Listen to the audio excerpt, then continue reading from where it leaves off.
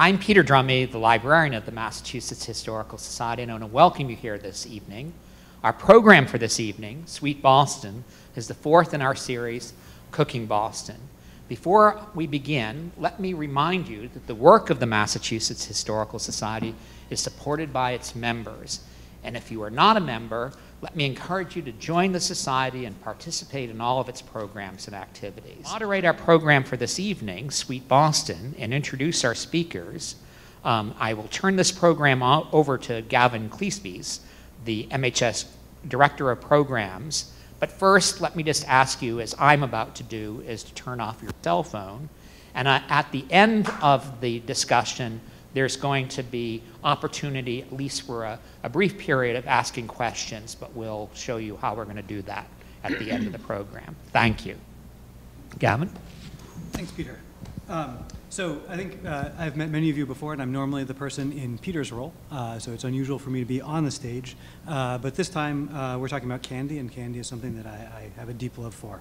Um, so just to give you a general sense of uh, how the evening is going to progress, um, I'm going to do a first uh, brief introduction that should be about five minutes, looking at some of the famous candy manufacturers uh, in the Boston area. Uh, we'll then uh, turn it over to our speakers, and I'll introduce each speaker um, as they come up so that you don't have to remember who everyone is uh, throughout the course of the whole evening. Uh, but in essence, um, our program will go with uh, Joyce Chaplin speaking um, on the history of agriculture and food uh, in relation to the environment and sugar and consumption in New England, uh, followed by Michael Krondl, who, speak, who will speak about something near and dear to the heart of all New Englanders, which is donuts. Uh, and that will be followed by uh, Carla Martin, uh, who will look at the late colonial and contemporary coffee, coffee chocolate houses in Boston, uh, as well as contemporary chocolatiers' ethics related to purchasing of chocolates and the pioneers in fair trade. Um, so, to get started, um, Boston and Cambridge uh, were once the largest center of candy production in the country. Uh, beginning in 1765 with an Irish immigrant named John Hannon, who established America's first chocolate mill on the banks of the Neponset River in Dorchester with the help of physician uh, James Baker. Um, Baker took over the factory from Han Hannon's widow uh, in 1790, uh, and the company was eventually renamed Baker's Chocolate. Uh, this chocolate is, of course, still available today in most grocery stores uh, around, although is no longer made in New England. The heyday of candy production in the area was probably from the 1920s to the early 1950s. Uh, in that period, Main Street in Cambridge was known as Confectioner's Row, uh, and there were over 100 different brands of candy made in Boston and Cambridge. Uh, just to take a quick look at some of the better known and some of the lesser known varieties, um, probably the most familiar is Necco. Um, Necco was founded in 1847 by Oliver Chase, who patented a lozenge, lozenge cutting machine. In 1901, Chase and Company merged with two other Boston-based producers to become the New England Confectionery Company, uh, and the familiar Necco wafer brand was born in 1912. Originally located in Boston, Necco moved to Cambridge in 1927. Uh, when it opened, it claimed to be the largest uh, confectioner manufacturing facility uh, in the world. Um, I don't think it held that title for very long, but it at least claimed that. Um, they uh, remained in operation in Central Square until 2004 uh, when it moved productions and headquarters to Revere, uh, and the building was purchased by Novartis uh, Biomedical Research, who spent $175 million uh, converting the building from candy manufacturing into a biotech research facility. Um, Schrafton Company is also, of course, one of the more uh, well-known or well-remembered. Uh, it began making gumdrops in 1861. They expanded to making candy, chocolate, ice cream, and cakes and by the end of the 19th century began opening restaurants. Um, their landmark location in Charlestown opened the year after Necco's in Cambridge, uh, and within a short period of time also claimed to be the largest candy manufacturer in the world. Um, so sometimes you have to wonder about those claims. Uh, by the mid 1950s, uh, their restaurant chain had expanded to over 50 locations up and down the eastern seaboard, um, unfortunately, by the late 1960s, uh, they were purchased uh, by Pet Milk Company, uh, broken up into multiple different smaller companies, uh, and witnessed about a 15-year decline before closing in 1981. Uh, their landmark building still stands, uh, but is now office space. Um, getting to some of the lesser-known companies that might be kind of fun to explore, Fox Cross Candy um, was located in Cambridge. They had uh, an, an unusual start. Uh, Donley Cross uh, was a Shakespearean stage actor in San Francisco uh, in the early 1900s. During one performance, he fell off stage and seriously injured his back, thereby ending his Shakespearean career.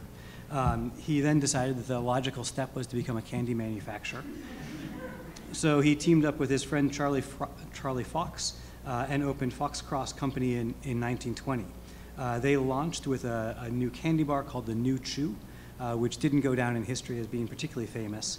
Uh, but in 1922, uh, they took vanilla flavored nougat, covered it with milk chocolate, and created the Charleston Chew, which is still available today. Uh, the name was based on the popularity of the dance at the time, so it had nothing to do with Charlestown, Massachusetts, um, and was originally based on the West Coast. Uh, they eventually sold the business in 1931. It moved uh, to Cambridge, uh, taking over the building uh, for the Boston Confectionery Company pictured on the screen. Uh, the building still stands today and is now the home of MIT Press. Um, one of the bigger companies was Daggett Chocolates. Um, Fred Daggett opened Daggett Chocolates in 1892 in Boston. Uh, he, at one point, had multiple different factories around the city. Uh, in 1925, he consolidated his operations in one plant in Cambridge.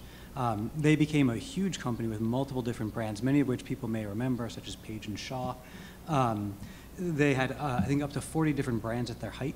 Um, and they were a, a, tremendously vertically integrated company. So they not only owned their chocolate factory in Cambridge, but they owned uh, strawberry fields in Virginia uh, and processing plants in Virginia where they turned the, the fruits that they grew into the fillings for their candies, uh, and then also sold those fillings to ice cream stores to use on top of ice creams.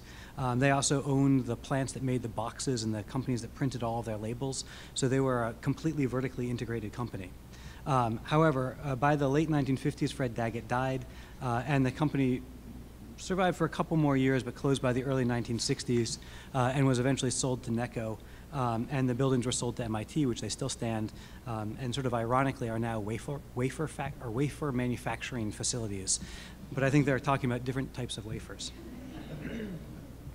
Um, one of the also very popular brands that people remember uh, was the Squirrel Nut Company. Uh, it was originally started in 1890 um, as the Austin T. Merrill Company in Roxbury. It was renamed in 1899 uh, as Squirrel Brand Salted Nut Company uh, and started a, a, relatively rapid growth. Uh, it relocated to Cambridge in 1903 and built a new facility in 1915 uh, where they premiered their flagship uh, product, the Squirrel Nut Zipper, which was supposedly named for an illegal drink that was popular during Prohibition. Um, eventually, uh, Hollis Gerrish, the third owner of the company, died in the mid 1990s, um, and in his will said that the company should be liquidated. Uh, so the property was sold off, and the Squirrel brand was sold to Southern Style Nuts. Um, and moved to Texas. Uh, the building still stands, however, on Boardman Street in Cambridge and is today condos. Um, there is also worth mentioning one company left uh, in Cambridge that does still manufacture candy uh, founded as the James Welch Company. It started in 1927 and made Junior Mints, Sugar Daddies, Sugar Mamas, and Sugar Babies, among other candies. Um, it was bought by Nabisco in 1963, and James Welch uh, became the director of Nabisco until uh, 1978. His son actually also went on to be the president of Nabisco. Uh, Welch brands were then sold uh, to Warner Lambert in 1988 and finally to Tootsie Roll Industries in 1993. Uh, Tootsie Rolls Industry still uh, owns the facility and runs the plant. So if you happen to be on Main Street in Cambridge and you're walking and you smell Junior Mints, there's a, there's a reason for that. Um, and they, they produce, um, I don't think all the Junior Mints in the world, but I think the majority of Junior Mints come out of that plant, so literally millions of Junior Mints a day. Um, as just an interesting side note to end this little uh, short tour of some of the fun candy maker, makers in the area, um, uh, James Welch's brother was named Robert. Robert actually owned a competing uh, candy manufacturer in Cambridge uh, called the Oxford Candy Company uh, that went bankrupt in the Great Depression. Uh, Robert then worked for his brother James um, at James Welch and Company uh, until 1956 when he left and uh, shifted completely out of can the candy business into politics. and in 1958 founded the John Birch Society, a radical right-wing anti-communist group. So it does go to show that if your candy doesn't work out, things really can turn sour relatively quickly. oh, that's terrible. So. So this is a relatively brief overview of some of the uh, candy factories that were in the area. Um, we're now, we'll delve a little bit more deeply into some of the story of candy making uh, and chocolate making and other confections in the area. Uh, we'll first turn it over to Joyce Chaplin. Uh, Joyce is the James Duncan Phillips Professor of Early American History at Harvard. Uh, she is a former Fulbright scholar and has taught at five different universities on two continents and an island. Um, and in maritime studies program uh, on the Atlantic Ocean. She is most interested in topics where humans and nature meet, including subjects in early American history, intellectual history, and the history of science. So without further ado, I will turn it over to her. Thank you. Um, and perhaps because I was teaching a whole course on American food this semester, I think I forgot which part of that I was supposed to be talking about tonight. um, so I come to you uh, with some remarks about ice cream, but that enormous topic uh, I think can take a little taste of what the larger panel um, uh, to come will be. Um, and I was going to start by um, with an anecdote about an incident that took place in Paris during the American Revolution. Um, at that point, John Adams and Benjamin Franklin were both serving as ambassadors to the French court in order to sustain and expand French support of the American War for Independence. And um, Adams arrived after Franklin had been in place for some years and has really taken charge of the whole mission, which Adams resented. Um, and famously, Adams disapproved especially of the way that Franklin used sociability and entertainment to solidify Franco-American relations, have people over for dinner um, all the time. Adams thought Franklin was extravagant in his spending on um, this, and in particular, he accused Franklin of luxury, unbecoming a citizen of a republic, especially in what was served to eat at Franklin's entertainments. To which Franklin responded that this was ridiculous. They only had ices on weekends. I, I doubt that calmed Adams down at all, uh, but that was Franklin's sense of how you exercised economy, um, that you had this strange, luxurious thing to eat, but only on the weekends. Um, and thus, these two Boston boys, um, Franklin and Adams, were both from families from around here for a long time, so these two Boston boys quarreled about one of the weirdest foods in history but also one of the most delicious um, and one firmly, if strangely, rooted in the food cultures of Boston. The two main points that I want to make um, in the time that I have are first, that ice cream is an unnatural food that is not essential to the human diet. and second, that Bostonians, like small children everywhere, somehow know this and therefore want to eat ice cream early and often the way that Chicagoans used to cast ballots in elections. so, the first proposition that ice cream is an unnatural food that is not essential to the human diet. We do not need to eat frozen foods. we might need what is in ice cream. Sure, milk provides protein and sugar has carbohydrates, and there might be fruit in there somewhere. It doesn't need to be frozen. It just doesn't need to be. Everyone's nodding. So now you already know when you want ice cream, it's unnatural. we don't need frozen foods. And yet, this desire to savor frozen treats, this amazing sensation that they provide, goes back way back to ancient times when Persians, Indians, Romans, and others sipped iced concoctions such as sherbet, sharbat, the Persian word for a frozen delicacy based on fruit, water, flowers.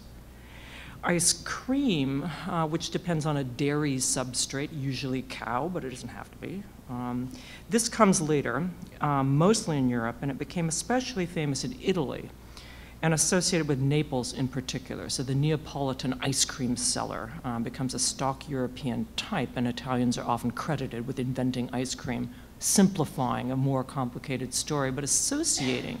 You see already this, this strange way in which ice cream is unnatural. People eat this ice thing in hot climates, um, where it's actually hard uh, to get the materials to make it that cold. Um, uh, so it's refreshing in that climate, but a lot of bother. It takes a lot of effort. No one needs to eat this food. It is always surplus to requirements by definition. And indeed, creating food with ice arguably makes ice cream the very first dish in the history of molecular gastronomy.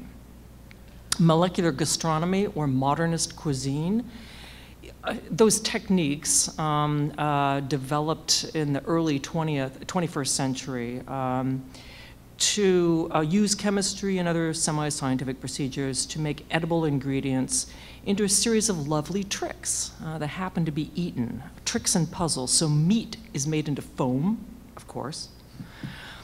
Chocolate dessert is made to resemble the humus-rich floor of an arboreal forest, which of course we've always wanted to eat. Um, the kitchen sends forth aquamarine, aquamarine pools of something from which diners fish out, uh, fish out fish-shaped objects that don't taste like fish. Um, so a series of tricks that are edible, but they seem wondrous and not quite like food. Um, this was the modernist cuisine or molecular gastronomy associated with elBulli um, in Catalonia, uh, Noma in Copenhagen, and a series of other now defunct restaurants.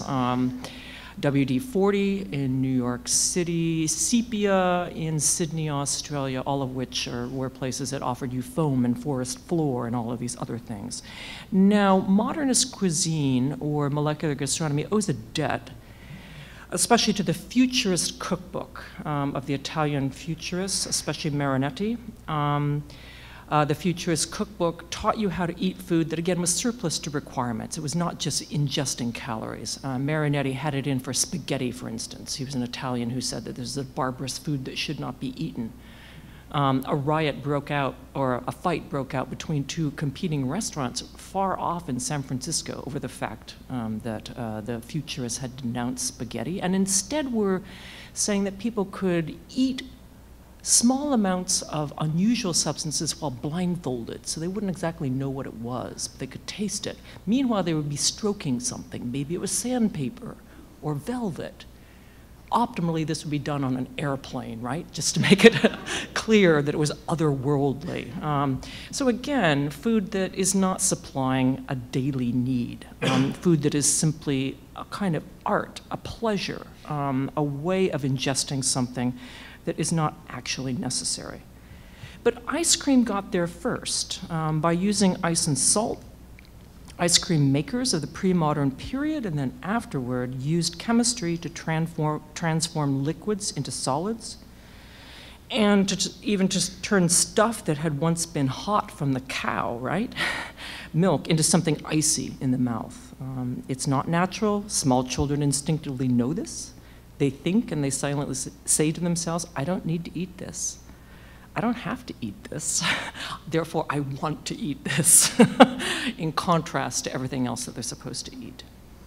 But Bostonians wanted ice cream too. Um, in this puritanical place, all brown bread, beans, and practicality, the desire for sweet treats and eventually icy sweet treats has a long, long history. Um, iced confections can take many forms and be made from many things, and they have many ingredients, but their most essential ingredients are sugar and ice. They need to be sweet, they need to be frozen. So I'll talk about Boston's food history in relation to these two items that go into all kinds of ice cream. First of all, sugar.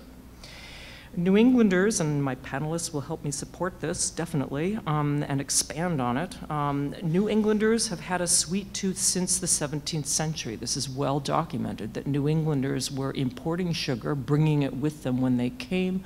Correspondence, recipes, descriptions of foods eaten, medicines, um, trade records about the importation and consumption of sugar make it clear that this is a taste that the English already had in the 17th century, and people who came to New England were not going to give that up.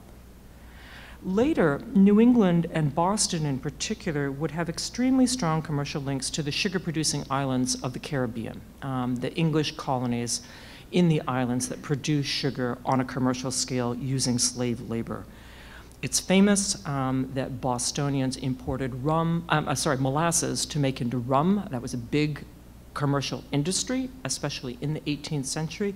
They were also importing sugar, even at that point, for confectionery, usually not for things as sweet as we would like them now, but it was already a taste. People knew that that was what you wanted, probably to put into baked goods, to stir into your tea, into your, well, maybe not tea, well, tea for a while, um, and then not tea, coffee, um, um, and chocolate, as we ha have just eaten. Um, so that connection with the West Indies made it easier to get sugar um, and established certain economic strengths uh, for the New England colonies, and again, especially Boston. This meant that New England and Boston had very strong connections to slavery uh, that are still coming to light now. We're realizing now that even though this was not a place with a lot of commercial use of slave labor, the economy in New England was dependent on that far off um, uh, presence. Uh, so the connections to slavery are the bitterest part um, of Bostonians' taste for sugar. It also um, shows that there was a hemispheric um, circulation of sugar um, and an economy that drew not only the New England colonies into contact up and down the seaboard to um, the West Indian colonies, but then across the Atlantic, um, where most of the sugar was exported. So Boston had a place within a hemispheric economy reaching well beyond New England itself, but with Boston at the center. So that's sugar, that one ingredient, and the history of it um, as it would be coming into New England via mostly Boston at the start and supplying an increasingly popular and coveted part of the diet. Onto ice. As global warming proceeds, um, New England winters, except for the occasional um, climate change generated snowmageddon, um, New England winters are getting milder, um, and we need to kind of recover and remember the historical experience of what climate scientists call the Little Ice Age. New England was settled by European colonists um, and developed into the cities and eventually states um, that we now take as part of the landscape of the United States. Um, all of this occurred during the Little Ice Age, a period of climatic cooling, um, roughly dating from the 1300s and going into the early 1800s. This meant that New, uh, New England winters were even colder uh, than they are now and more routinely cold longer and um, their intervals more snow, um, uh, more cold for everything and everyone. Um, this meant that uh, not only was there plenty of snow and ice, but the ice could be harvested.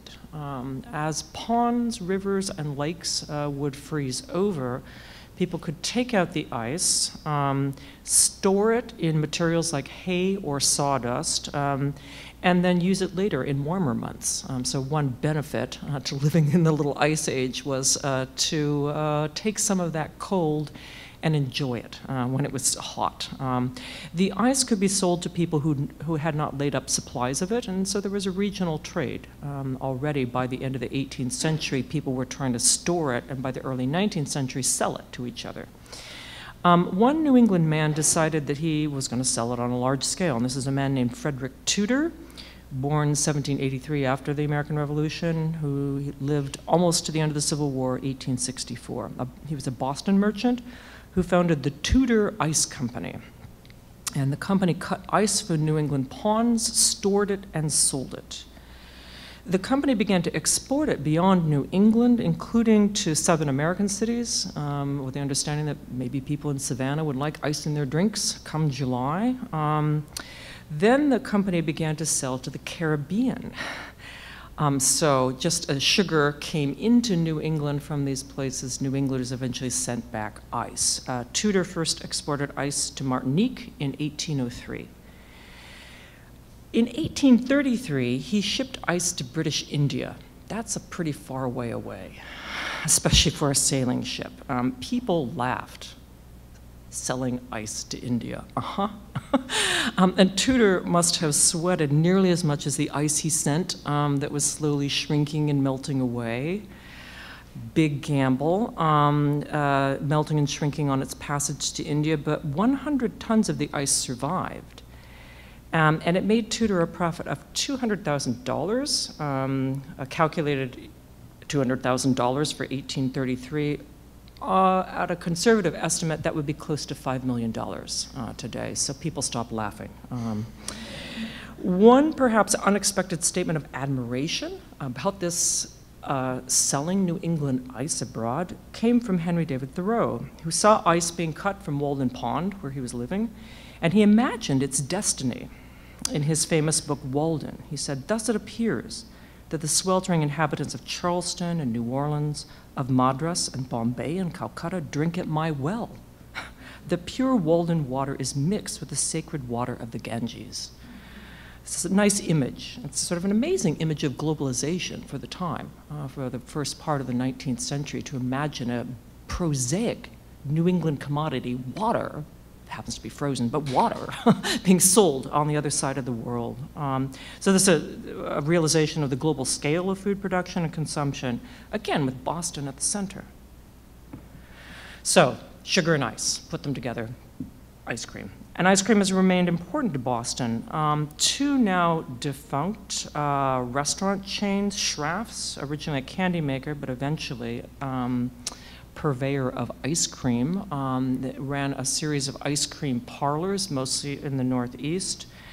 Um, Howard Johnson, slightly later. Um, both of these, uh, uh, Howard Johnson's probably the more famous and recent restaurant chain, but originally started by selling ice cream. Both of these operations, Schrafft's and Howard Johnson's began in the Boston suburbs. Um, and they still offered ice cream. It was a sort of specialty of these places, even if you were having something else to eat. The ice cream was always there, and everyone kind of understood that that's how these sturdy establishments had started. Um, and at that point, the ice cream parlor and the place where you could go to eat that. Um, uh, signaled a kind of respectability, especially for women who might want to eat out alone or take a child to have a meal, um, where a restaurant would not be appropriate, fine dining, nor would the kind of establishments that served liquor. Um, so the ice cream parlor became this place where um, a woman uh, could go and eat um, in a public place, and that was perfectly fine because ice cream kept everything respectable. Again, surplus to requirements, but it's an important cultural signal um, that who would eat that in public? Well, ladies, of course. Um, um, it used to be the case that Bostonians topped the scales in per capita uh, consumption of ice cream. This is often widely cited that we're just eating it all the time. It's actually not true anymore. Um, people in Long Beach, California, Dallas, and Philadelphia now eat more ice cream. We're falling behind. If you want to do something about that, you know what to do. We can still claim Ben and Jerry's um, as the region's big contribution to recent ice cream culture. Um, their left-wing politics atoning, perhaps, for Boston's earlier support of sugar and slavery. Why not go further? Um, maybe all Boston ice cream could now be made with honey shunning sugar, which is still produced in conditions of exploitation. It's not a good crop, um, and the cultivation of which is not really environmentally friendly. It's not a good crop. Um, by using honey, we could, among other things, foster the ongoing attempts to protect diminishing stocks of pollinating bees. Um, if we had to put it in our ice cream, we might be more interested in doing that, right? Maybe we could have some distinctive Boston ice cream flavors. So brown bread, that's an ice cream flavor in England. If you've ever had brown bread ice cream, it's really rather nice. It's, it's thrifty, but it's also quite tasty. Um, it's very Bostonian, easily adapted to our local foodways. Why not make Indian pudding into ice cream instead of serving the two together kind of inefficiently? Just put them together. Then on to Boston cream pie, right? Everyone's now hungry. but maybe some more adventurous options. So, baked bean ice cream bean ice cream is actually made in Asia. Beans are sweet. Chowder. Dairy based. Okay. Succotash. Or my favorite, Moxie, right? From that Take No Prisoners New England soda, Moxie ice cream. Anything, anything at all, but of course, tea. Tea ice cream is only fit for flinging into Boston Harbor.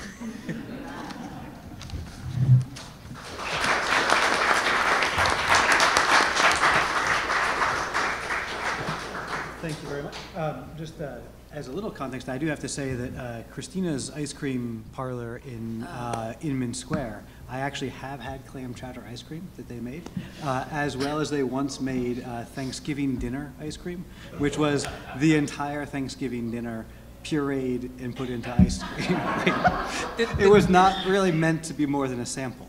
This, this is the be careful what you wish for part of it. So, Um, our next speaker, Michael Krondl, is a food writer, culinary historian, cooking teacher, and artist. He is the author of The Donut, History, Recipe, and Lore from Boston to Berlin, The Taste of Conquest, The Rise and Fall of the Great Cities of Spice, and Sweet Invention, A History of Dessert. Among his most recent projects um, are a gig as the associate editor on the Oxford University Press Companion to Sweets, and as an editor of Savoring Gotham, a foodie uh, companion to New York City. So I, I, think, I think, first of all, I need to pivot from what is presumably an inessential food, which is ice cream, to an absolutely essential uh, staple of the New England diet, maybe donuts. Um, donuts do provide all the essential ingredients that you need. They have the carbohydrates, they have the fat, um, and I guess if you put some cream filling in, they have some protein. Um, but uh, so the essential, the, what I would like to describe as sort of Boston's major contribution to the American diet, which is, again, the, donut. Um, briefly, donuts originate in Hertfordshire, in England, uh, sort of northeast of London, uh, fairly obscure specialty in the 18th century in England. Uh, pretty well nobody seemed to have known about it, but of course that happened to be the area where many of the Puritans came from. So they brought that specialty with them. Uh, originally, these things were known as either Hertfordshire nuts. There's an 1750 recipe for that. Uh, occasionally, Hertfordshire um, cushions because they would might be shaped in the shape of a dough nut, or rolled out and cut into squares, thus cushion. so they would rise like a cushion. Um, a yeast-based dough. Um, you know, the obvious connection there is you have Hartford, Connecticut, Hartfordshire.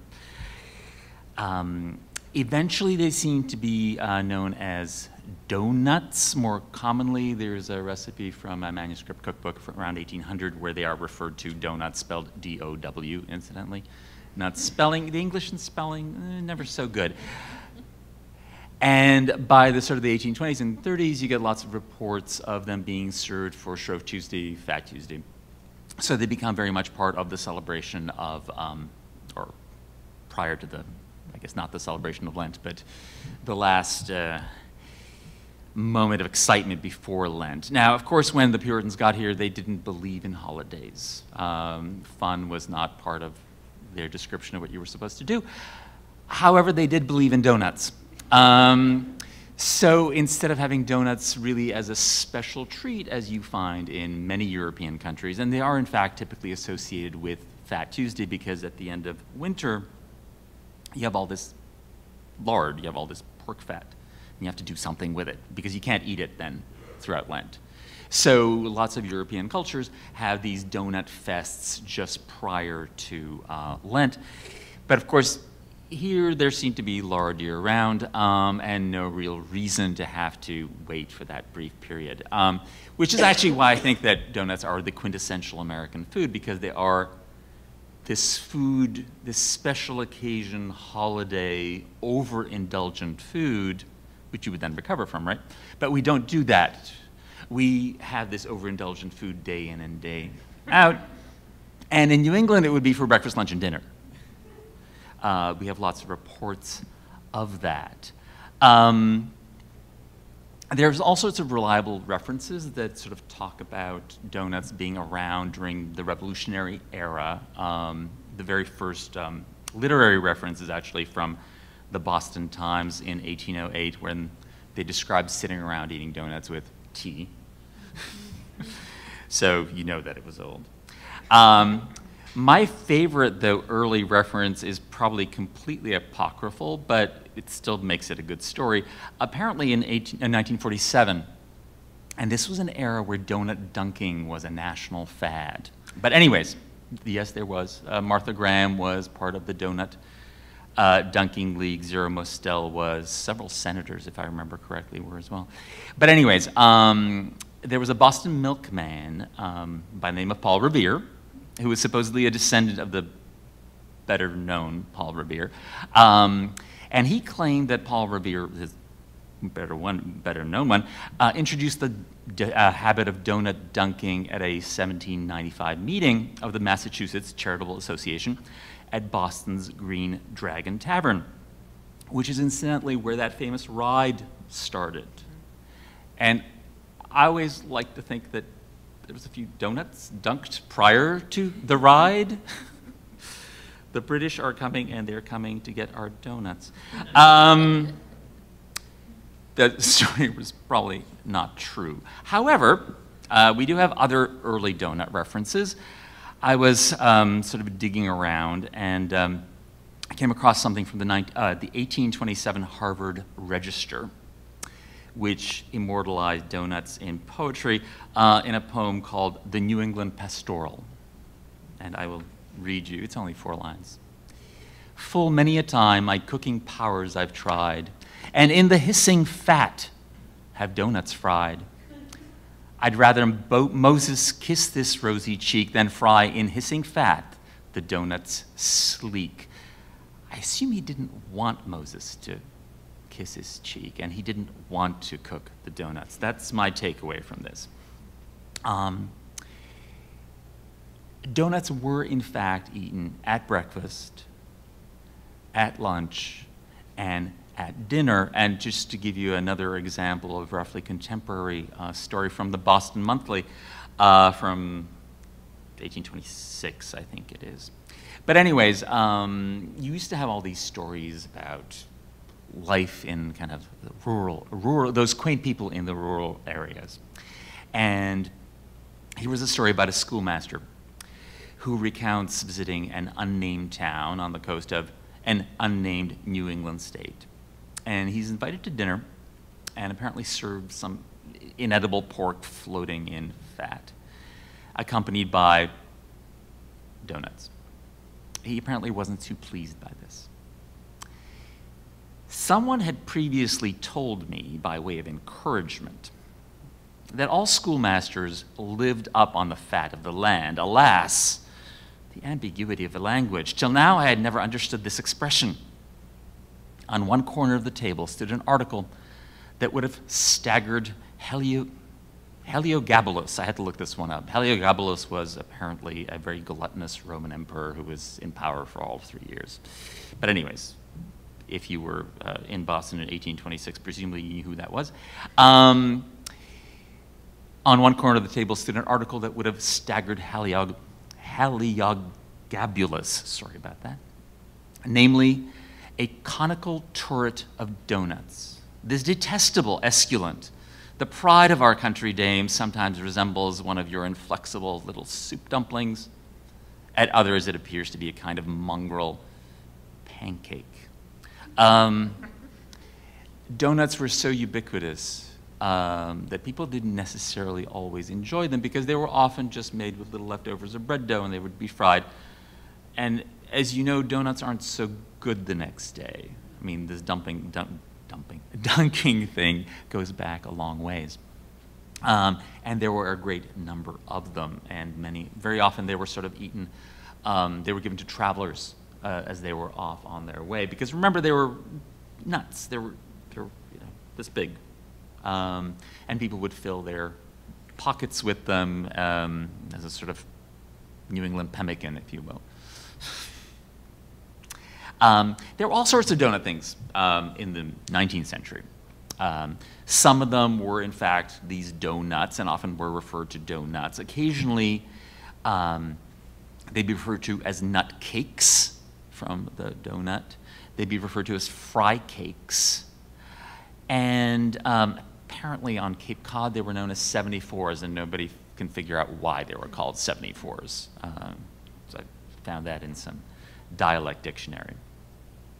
Um, then at some point they started to make them actually donut shaped. And it's not entirely clear when this happened.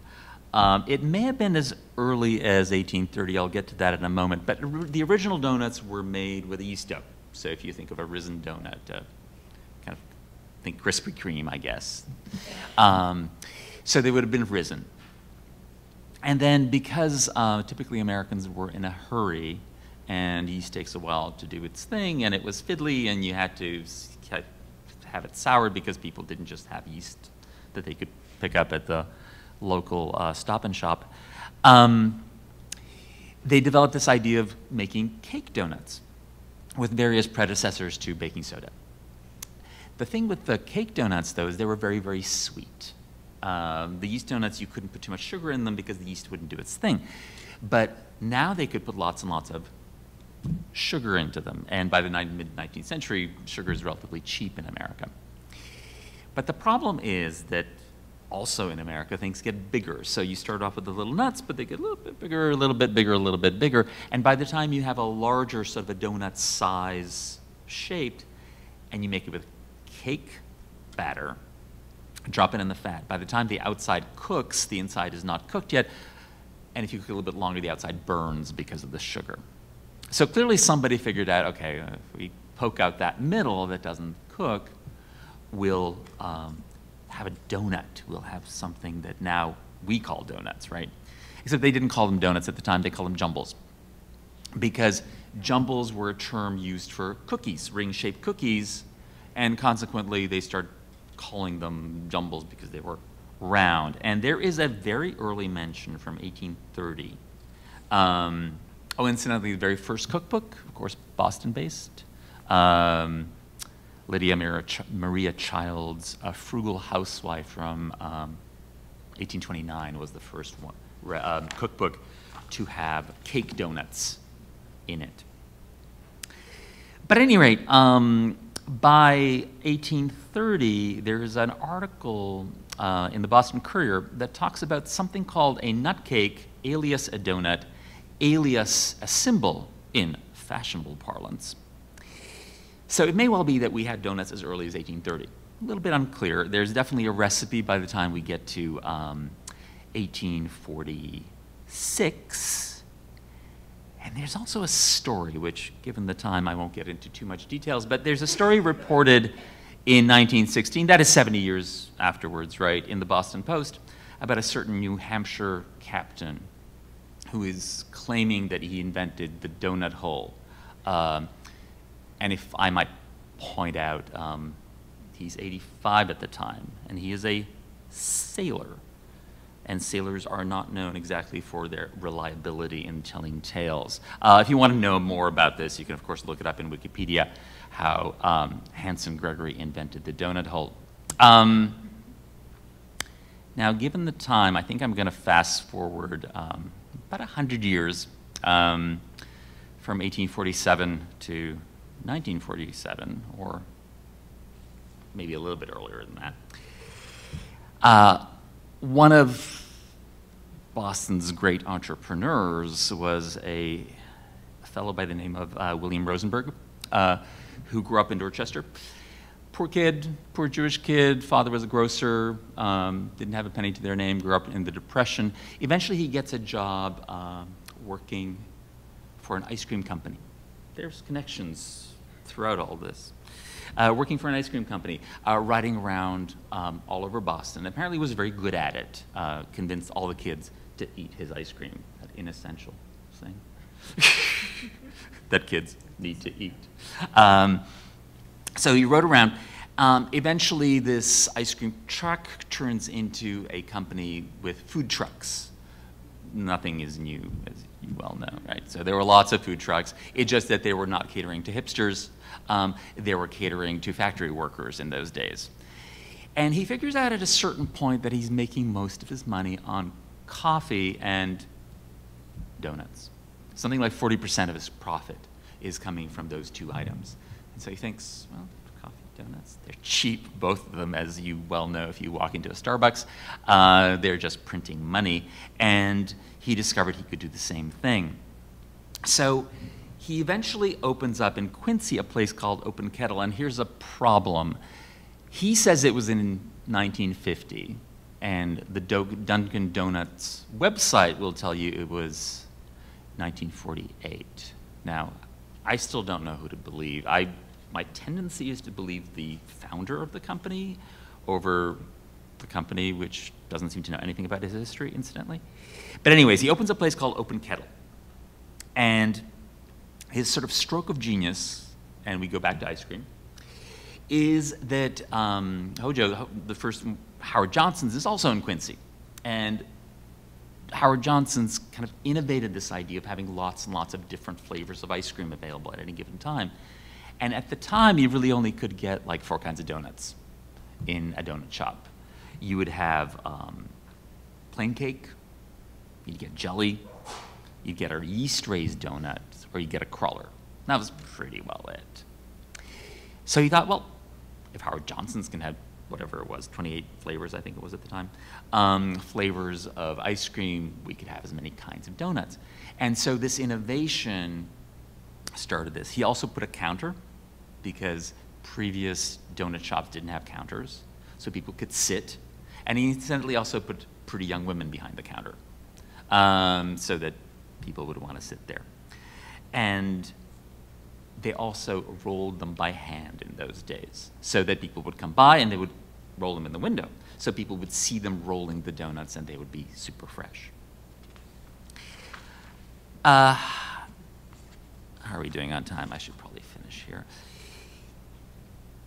In um, either in 1951 or 1950, depending on who you believe, um, he changed the name to Dunkin' Donuts because he was at some meeting of uh, the company and uh, they were people coming up with different names, different names. They came up with Mr. Donut.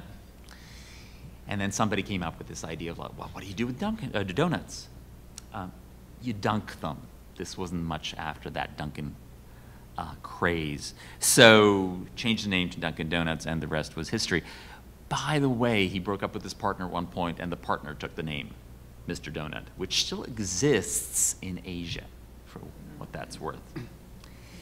So we come back to you know an essential of the New England diet um, that we certainly cannot live without.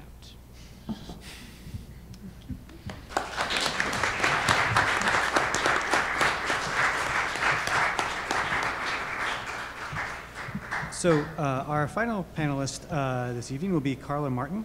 Uh, she is the founder and executive director of the Fine Cacao and Chocolate Institute and a lecturer in the Department of African American uh, Studies at Harvard University. Her work at uh, the FCCI focuses on identifying, developing, and promoting fine cacao and chocolate, primarily by addressing ethics and quality issues in the supply chain. A social, social anthropologist, her current research focuses on the politics of cacao and chocolate in a global perspective. I think we have to wait one second for the screen. There we are. Right. Well, thank you for the invitation to be here. I'm very happy to be joining you all tonight. And I actually want to take us outside of Boston for just a moment to go to the origins of cacao. And I suspect that many of you might already be familiar, but perhaps some of you aren't. And in fact, cacao's genetic origins, cacao being the raw material that becomes chocolate, are in the Amazon River basin, which you can see illustrated here, covered by that orange circle. And cacao's cultural center of diversity is what we know of today as Mexico and Central America or Mesoamerica.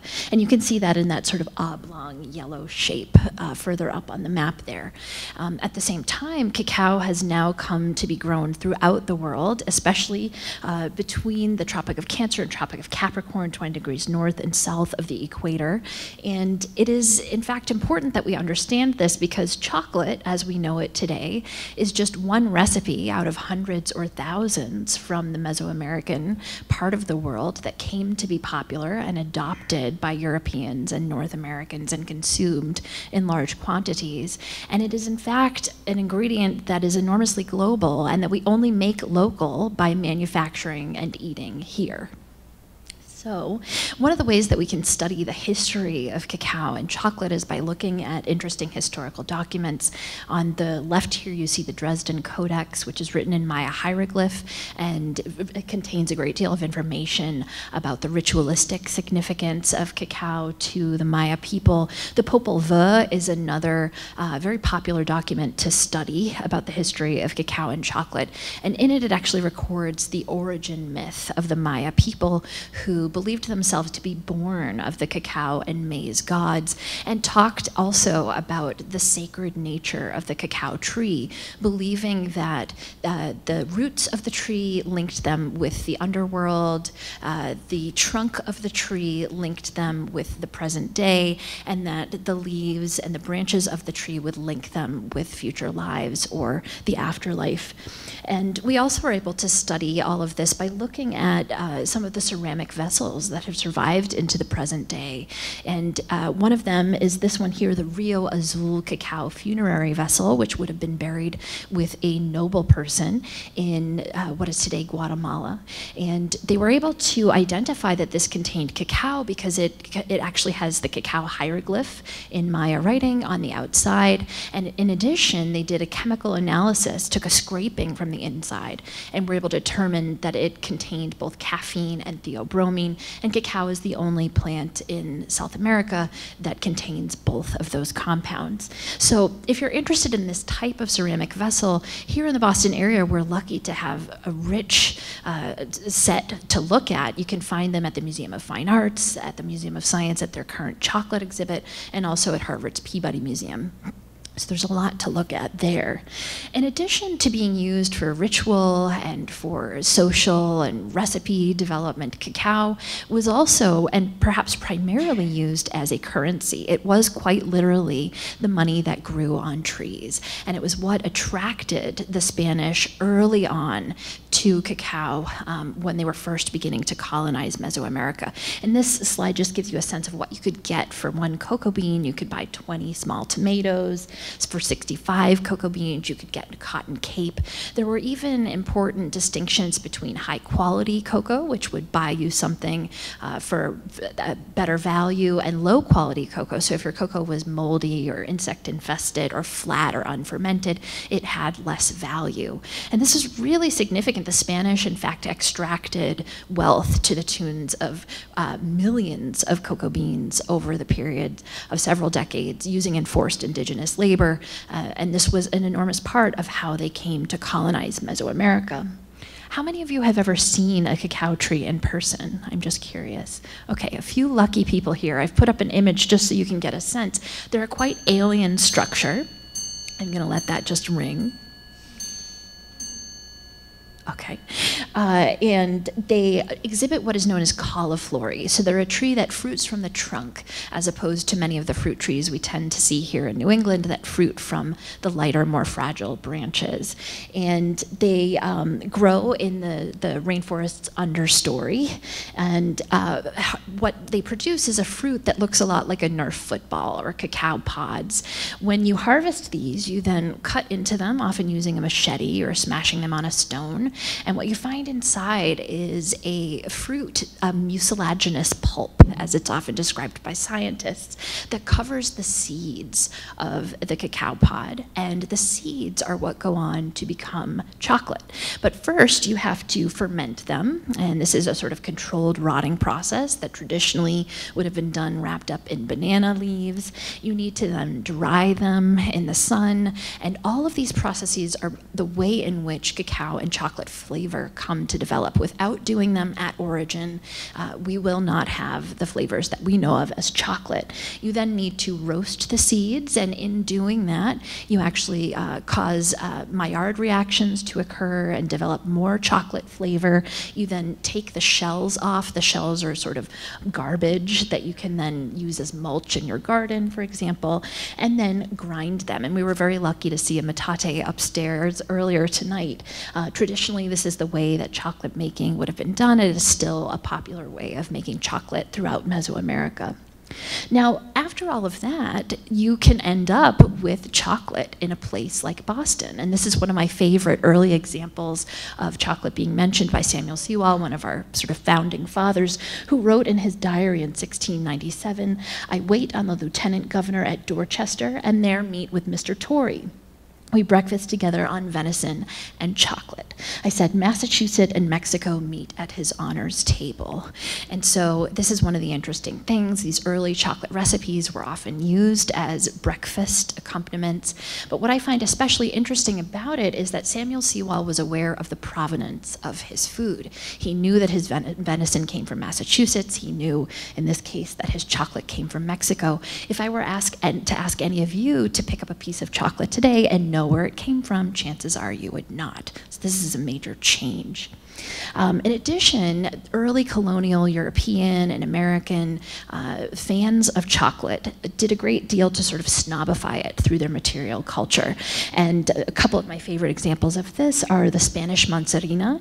It is a saucer with a cup holder on the inside. You could place a cup of dark drinking chocolate into it and carry it. If you had shaky hands, you would be less likely to spill it. You could be jostled about at a party, and you wouldn't ruin the front of your beautiful outfit. Um, American chocolate uh, pots were also another very important uh, way of both capturing wealth in the form of silver and then passing it on through families, and of course displaying wealth uh, at different moments. And this is an example from the Museum of Fine Arts here in Boston. Uh, and then, of course, in the 16 and 1700s in Britain and then also here in Boston, it became popular to form coffee and chocolate houses, which were places that served these beverages as an alternative to the other common drink of the day, which was often alcoholic. And in Boston in 1670, in fact, Dorothy Jones and Jane Barnard were known to have successfully petitioned the city to keep a house of public entertainment for the selling of coffee and, as they wrote it then, chocolate which was a unique example of women taking an entrepreneurial role. These were often spaces that were primarily frequented by men, and they became spaces that were hotbeds of political discussion and, and activity. In Britain, it was not uncommon that the nobility would try to shut these coffee houses down because people would get together and discuss all sorts of dangerous ideas about things like democracy. And interestingly, coffee houses to this day remain important spaces of political discussion. Colonial American chocolate, we've already touched on. One of the first chocolate makers is from the Lower Mills, Neponset River, Dorchester, Milton region, and that is the Walter Baker, or what is now known as the Walter Baker Company, which, of course, you know if you've ever bought those very bitter uh, dark chocolate baking squares at a Shaw's or a Stop and Shop. And you can still go and visit many of their spaces today. Um, but much of this increasing in the popularity of chocolate and the democratization of chocolate relied on continued growth in supply of cacao, that raw material. And it's important to keep in mind that it was the transatlantic slave trade and the global uh, capitalist system that developed as a result of all of this that allowed people to have increasing access to cacao, to chocolate, and to sugar, these main ingredients. In addition, industrialization, the mechanization of chocolate grinding, the change from a metate to something that could produce chocolate involving less labor and at scale uh, through melangeurs was an enormously important development in chocolate production. And the development of the hydraulic press, which is a machine that will take that original chocolate paste and press it with enormous pressure to have two resulting uh, sub ingredients of chocolate liquor, and those are cocoa butter and cocoa powder, which can then be repurposed in different ways, were also important to the widespread of chocolate and its popularity. And then, of course, the spread of chocolate into North American homes was often done through domestic science, through home economics, and through cookbooks, such as this one, The Chocolate and Cocoa Recipes by Miss Parloa. Uh, and this was a partnership between Miss Parloa and the Walter Baker Company, uh, a very popular cookbook that included many recipes for chocolate and cocoa candies, and baked goods. And then, of course, the Fannie Farmer Boston Cooking Book, uh, which contained in the early 1900s one of the first recipes for brownies and was a way of attracting American housewives to using chocolate in their baked goods. Uh, North America, at the same time as chocolate was becoming democratized in this way, was also becoming a sort of candy land. And here in the Boston area, we've already heard about many of the different candy companies that existed that were using uh, different cocoa and chocolate products in their ingredients. And they included other companies like Royal, Cole, Haviland, Liberty, and Schrafft's and Necco, of course. And they were candies like Junior Mints, Charleston Chews, Sugar Daddies, Necco wafers, and Tootsie Rolls. But as time went on and industrialization increased, um, the ability to scale up the manufacturing and sourcing process, the retail process. Uh, it became possible, for example, to move chocolate to places that previously had been too hot and where it would have melted, um, to do this with increased uh, transportation ability. All of this has led to the aggregation of many of these original small candy companies, and they're being bought up by some of what are now known as the big five chocolate companies. And these include Cadbury, which is now owned um, technically by Kraft, an American company, though originally it was British, Ferrero, Nestle, Hershey's, and Mars. And just to give you a sense of how significant the footprint of these companies is, when you have Halloween candy, 99.9% of bite-sized chocolate candies in the United States are produced by two companies, Hershey's and Mars. So these are really massive corporations at this point. World cocoa production has likewise had a massive demographic shift. And rather than co cocoa being produced primarily in Mesoamerica and South America, it is now most largely produced in West and Central Africa, which produce about 72 to 75% of the world's cacao, those raw materials. And to give you a sense of the inequality that exists between cocoa production and chocolate consumption, Africans actually only consume about 4% of the world's chocolate. And in fact, Europeans and North Americans consume 75% of the world's chocolate while producing none of the world's cacao. And that, I think, gives you a sense of how these trade patterns came to be and how globally there is now great inequality in where value is captured in this supply chain. Uh, in addition, we have had increasingly a disconnect throughout the supply chain between consumers and producers. So Samuel Sewall knew that his chocolate might have come from Mexico, but the average consumer today is unaware of this, and the average cacao producer likewise does not know where their cacao goes and what it is turned into.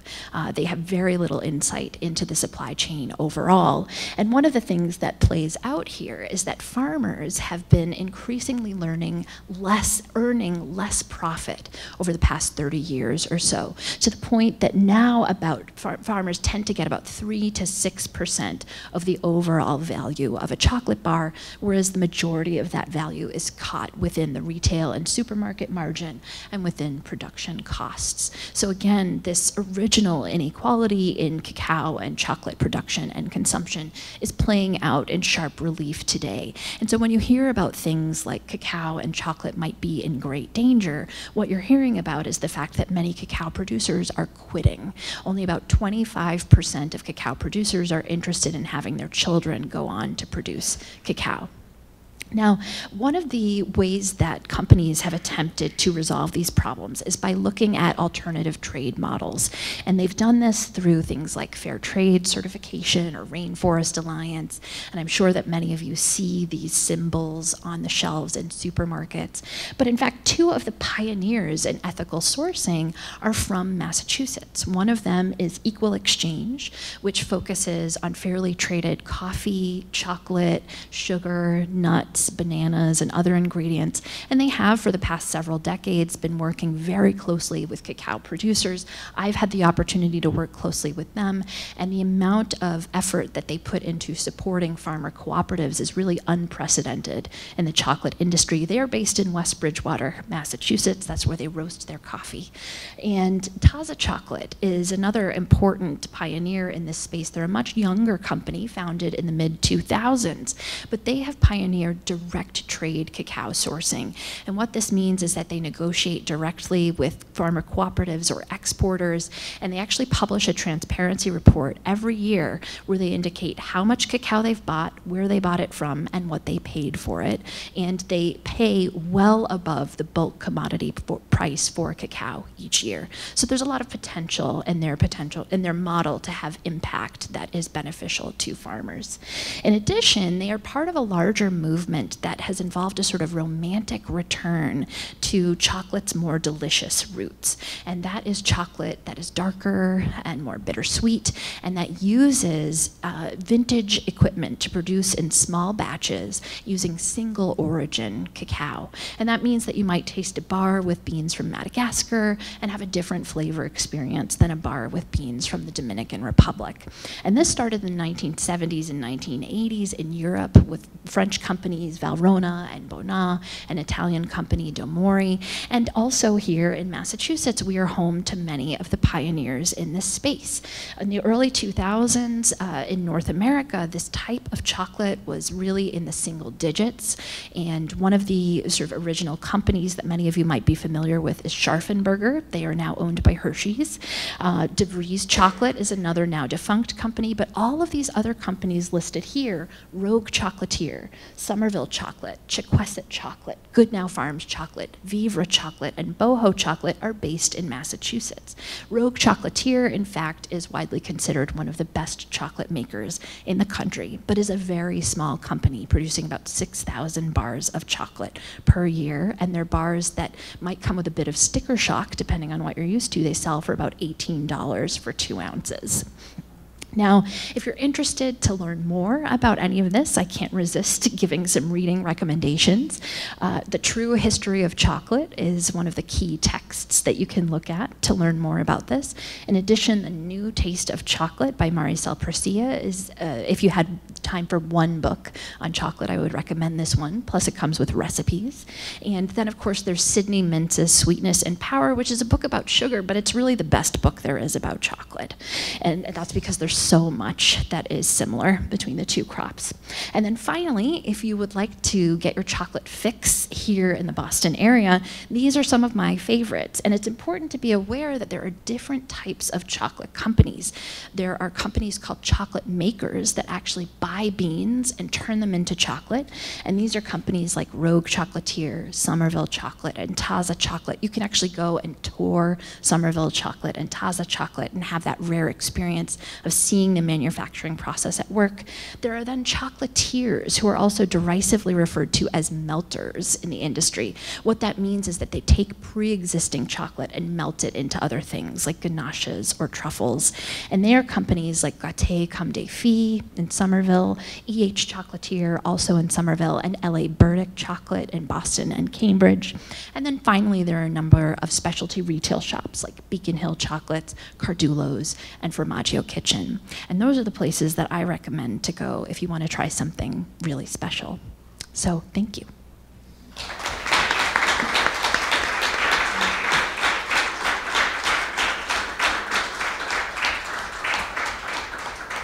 I think we have time for a few questions, if anyone has any.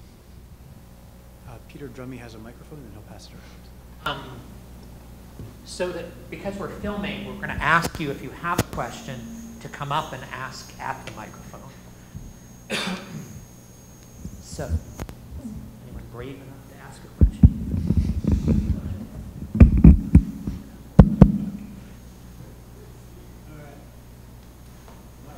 Thank you very much. Um, I'm wondering, Dunkin' Donuts, donuts and coffee, coffee beans, they come from that same region of the country as cocoa beans, the, the first thing you show. Well, for, the for that matter, there's cocaine too, but we don't have to get into that.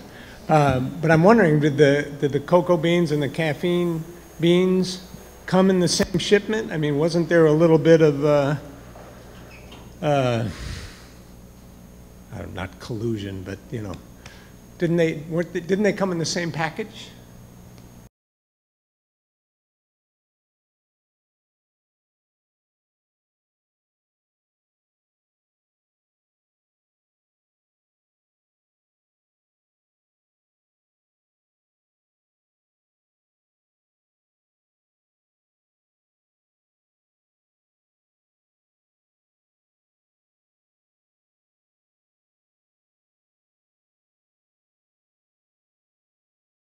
In fact, uh, shipping just logistically cocoa and coffee together is frowned upon. And that's because cocoa is enormously absorbent and will pick up coffee smell by being with it. But you're absolutely right that these are crops that tend to be grown in similar parts of the world. And in fact, with climate change, a lot of traditionally coffee farmers are now switching over to cocoa. Um, and many of the supply chain networks that existed involved transporting sugar, coffee, cocoa, uh, tobacco, all of these crops. So it's absolutely the case that many of the same traders or purveyors of these crops uh, would have been trading in coffee and cocoa. And aren't caffeine beans of a similar, aren't they related to cocoa beans? They're related in that they provide a sort of stimulus when you consume them. Uh, but interestingly, coffee beans uh, originate in Ethiopia, so they spread from uh, a very different origin than cacao, which originates in the Amazon River basin. Mhm.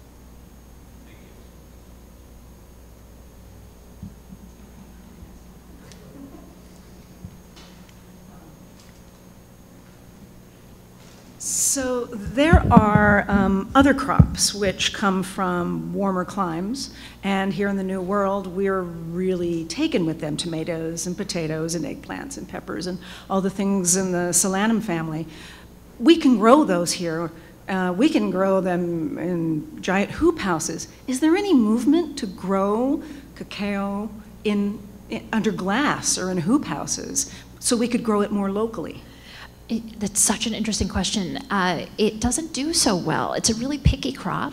Um, it likes to grow with buddy trees that are much taller, and um, it's also very picky about the right amount of wind and circulation to avoid disease.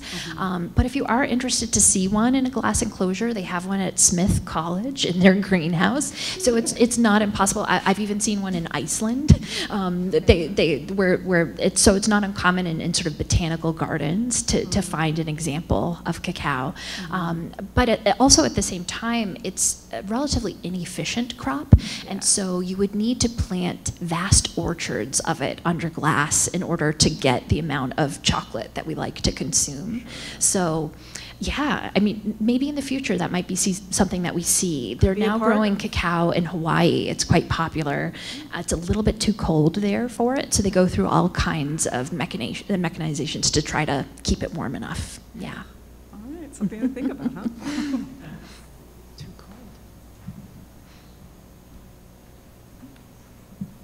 I'm fascinated, or I- to be reawoken to thinking in terms of the triangular slave trade and our fascination with sweets. So I guess my question really is, can you really see a pattern with those ports on the East Coast that were engaged in slave trade and the types of food we consume? And on the other end, over in Liverpool, was there an equal sweets industry? Yes, definitely. I mean, the sweet tooth is not American. Um, it is early modern Euro-American. Um, nearly every place that had connections to the West Indies and can buy the sugar, they do it. Um, the taste spreads. Um, there's something probably apocryphal that Russian aristocrats in the, in the 18th century artificially blackened their teeth so they resembled French aristocrats. Um, so I don't know if that's actually true, um, but the French aristocrats could get the sugar and had terrible teeth, um, and so the Russians wanted to indicate they didn't get as much sugar. But I mean, if you look at a lot of Europe, um, you can detect patterns of preparing food and eating that go well back into 16th, 17th, 18th centuries, where people are drinking chocolate. Uh, chocolate was approved for Lent, for instance, going back to what you can or can't eat um, during religious holidays. Uh, they had to deliberate on that. Um, and there are chocolate drinking cultures throughout Southern Europe. So So sugar, yeah, sugar eventually gets everywhere. Anyone can import it from the West Indies. And the Dutch were slave traders. They well, were early. everyone was a slave, tra- trader. I mean, you're seeing a real connection? Yes, I mean, um, I mean the connection can be very, very, very direct um, in terms of the nation that is involved with the slave Right. trade and then has the colonies that are producing the commodities produced by slave labor. But there's a knock-on effect. So it's not as if people in Boston were um, uh, necessarily trading the slaves that go to these plantations, but they're involved in collateral trades that support. Yeah. And that's why I said, you know, the hemispheric kind of circulation. And yes, I, I really endorse um, this uh, recommendation of Sidney Mintz's book, Sweetness and Power, which is still the essential text that talks about that. Maybe one more question? Hi. Um, I'm wondering if, um, in the same uh, lane of thought as the ice cream and the ice cream parlors and um, how that was associated with respectability for women, if there is a similar association with chocolate, um, with respectability, status, even whiteness, if there is a um, awareness of it being from an exotic place, um, if, if that was also a thing, yeah. You could probably answer this just as well, but uh, they uh, absolutely. Um, there were all sorts of stories that you can read about women consuming chocolate in uh, the 16, 1700s, where there were concerns about it being aphrodisiac. Uh, there were all, all sorts of bizarre stories too. There was one woman who gave birth to a baby who uh, was born, stillborn, and was entirely blackened, and they blamed it upon her vast consumption of chocolate. So all kinds of things like that that you'll hear about.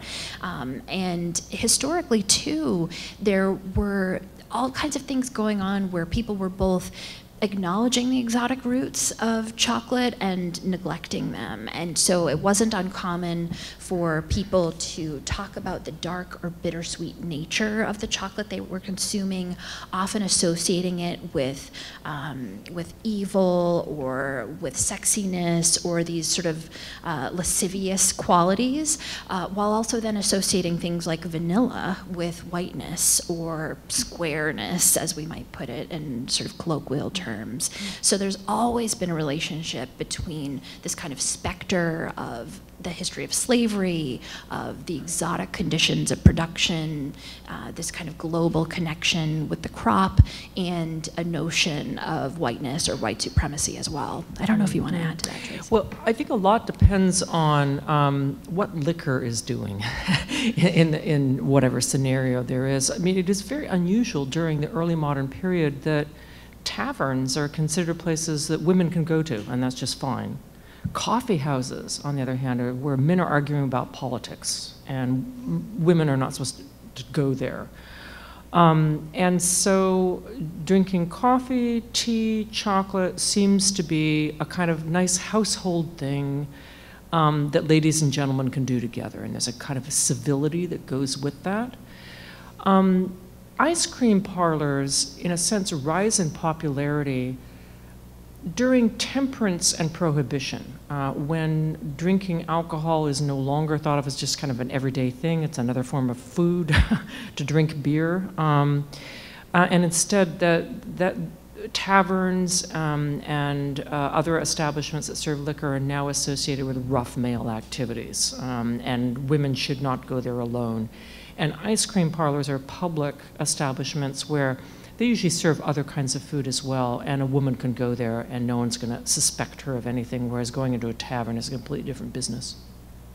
I, I also think that it's, it's important not to forget that there's a class dimension to chocolate up until about, let's say, the 1850s or so, but maybe even a little bit after that. So when you talk about women drinking chocolate, and they were very much in, particularly in um, continental Europe, chocolate was very much associated with upper class, aristocratic women, uh, the sort of thing that women would serve at the salon, you know, in the Age of Reason as they were entertaining Voltaire and whoever. Um, that chocolate was extraordinarily expensive. Um, so if they were shipping it along with the coffee, coffee was relatively cheap. Because of the way it grows, it just basically berries you pick off of the tree, whereas chocolate involves an extremely complex process of processing it. Um, so chocolate was vastly more expensive than coffee, um, thus much more of an aristocratic drink than coffee or certainly tea later on, because tea again is relatively cheap.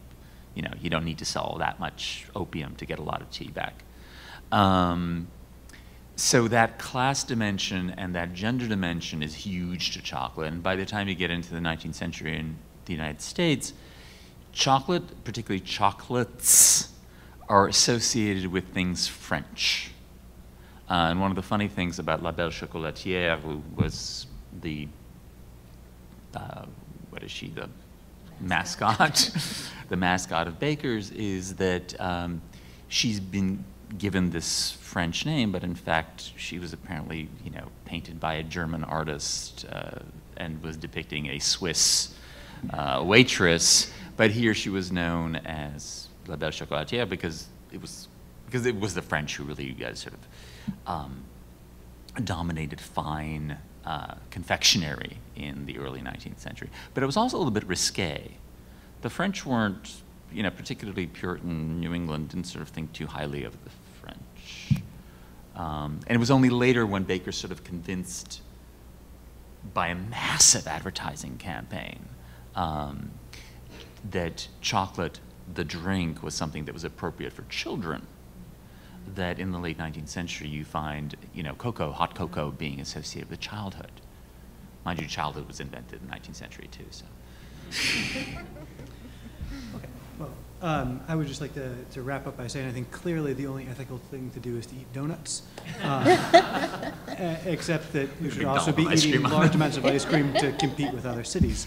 Um, but, uh, I'd like to thank our, our panelists, and I'd like to thank all of you for coming. Um, And I, there are some books for sale in the lobby, and I hope you all have a nice day. On that note, thank you very much.